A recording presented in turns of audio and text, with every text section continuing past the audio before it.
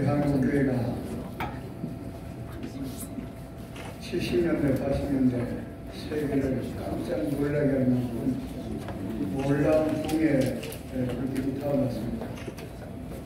그래서 세계 신학자들이 야, 한국이라는 나라는 기독교 역사가 100년도 안 되는데 어떻게 저렇게 놀랍게 부흥할 수 있느냐 그래서 연구의 대상이 되드렸습니다.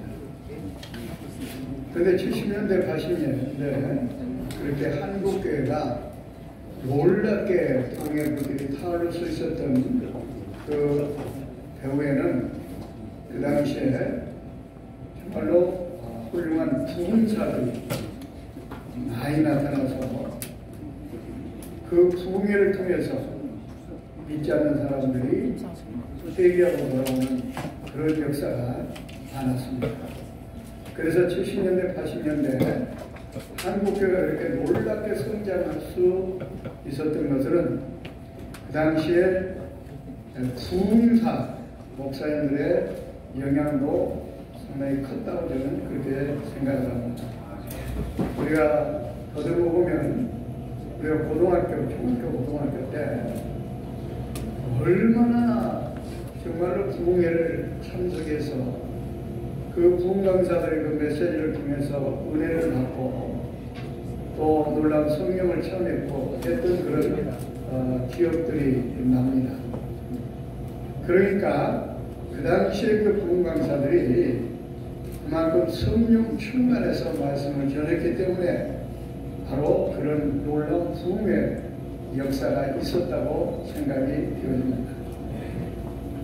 그런 측면에서 생각해 볼 때 이 시대에 우리 한국교회가 상당한 침체기에 있는데 이 침체기에 있는 교회를 어, 일으킨 데는 바로 이 시대에 부흥사로 부름받은 여러분의 여러분들의 책임도 있다고 생각이 되어집니다.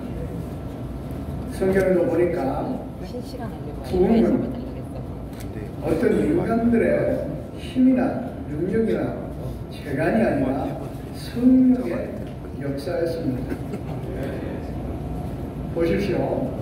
초대교회가 120명이 3천명이 되고 3천명이 5천명이 되고 나중에는 셀 수 없을 만큼 놀라운 부흥의 불길이 타오르는 것은 그 당시에 목회했던 목회자들이 무슨 뭐 어, 이론적으로 무슨 목회 방법이 좋아서 그런 것도 아닙니다. 성령의 역사였습니다. 그렇기 때문에 이 시대에 침체가는 한국교회를 다시 부흥을 일으키려고 한다면 부흥 강사로 부름받은 저와 여러분들이 여러분들이 정말 영역을 갖고 사명을 감당해야 될 줄로 믿습니다. 아멘. 자, 베드로도 보세요. 예수님을 따라다니면서 3년 반 동안 참 많이 배웠습니다. 우리가 신학교를 다니면서 신학을 공부하고 여러 가지 세미나를 통해서 여러 가지 목회의 방법을 배우고 기술을 배우는 것처럼 예수님을 따라다니면서 3년 반 동안 얼마나 얼마나 많이 배웠겠습니까? 그런데 보십시오. 그 제자 사역을 감당하는 가정 속에 있어서 3년 반 동안 따라다니면서 배웠던 그런 신학 가지고는 그런 경험 가지고는 그런 지식 가지고는 사실은 아무것도 못했습니다. 오히려 어떤 면을 볼 때는 문제만 일으켰어요.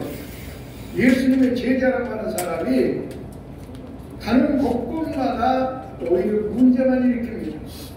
변화산에 가서 기도하자고 그러니까 기도도 안 해요. 계속 잠만 잡니다. 깨우는 또 자고 깨우는 또 자고 그러다 보니까 주님의 뜻과는 전혀 상관이 없는 그런 목회자였어요. 그런 사역자였어요.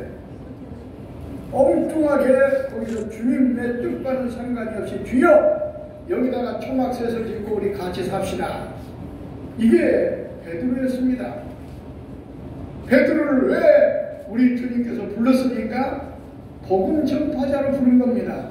내가 너를 사람을 작은 어부가 되게 하리라. 그런데 복음 전파자가 한다는 얘기가 어떤 이론이나 생각 앞세우고 자기의 판단대로나 생각대로 주님의 뜻을 오히려 거역했습니다. 또 열정은 대단했습니다.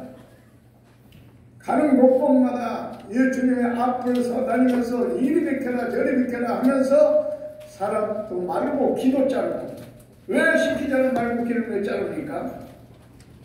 또 그뿐만 아니에요.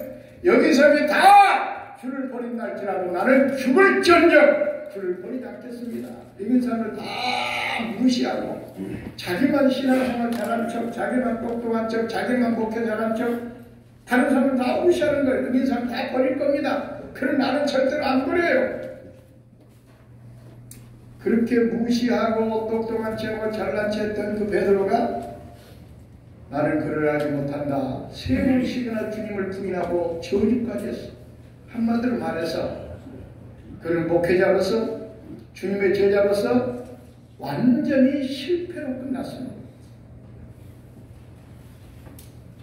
왜 그랬어요?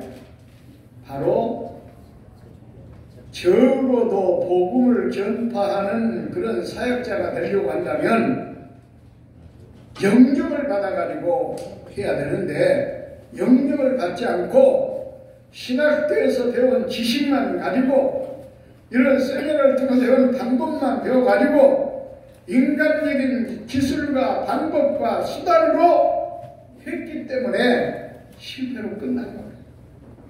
그런데 보세요. 그가 나중에 이제 주님께서 부활하시고 난 다음에 회개하게 됩니다. 그래서 마가의 다락방에서 120명의 성도들과 함께 철저히 회개하고 기도하다가 그때 성령 받았습니다. 가슴이 뜨거워졌습니다.